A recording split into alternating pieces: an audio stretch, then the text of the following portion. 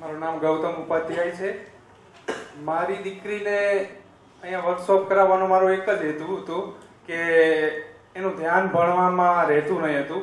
એ ભણવા બેસે ખરી, પણ એનું ધ્યાન ક્યારેય નહીં એકદમ ચંચળ મગજ.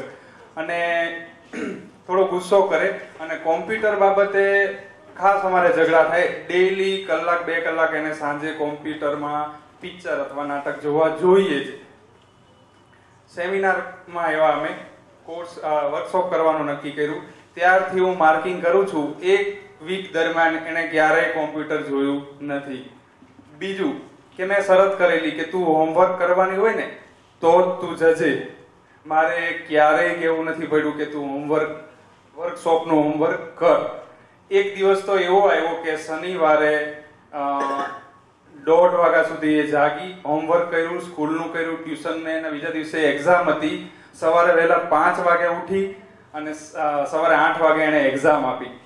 આટલો ચેન્જ હું જોઈ શક્યો. એના માટે thank you thank you Dharmesh